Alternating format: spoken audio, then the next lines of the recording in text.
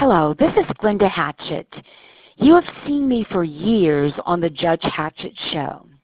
Today I'm calling on behalf of the Black Women's Roundtable to remind you how important it is for sisters and women to stand together with a collective voice at the polls.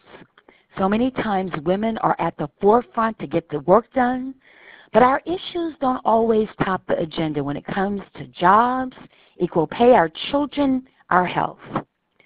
Look at what mothers across the nation are doing to try to get justice for their children. We must stand together and vote for elected officials and judges that will respect our voice and our vote.